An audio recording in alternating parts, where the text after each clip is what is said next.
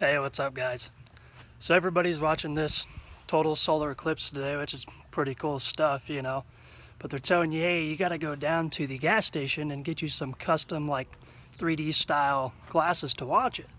That's cool and everything, but I figured, ah, yeah, I don't really want to do that. I'd rather just make my own. So I made me some custom AM Industries Eclipse sunglasses. Check these out.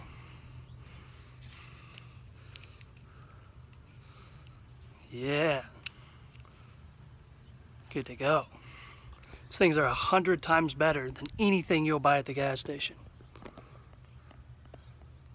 Yeah. Pretty sweet, huh? Right on. Well, everybody enjoy the eclipse. We'll see you later.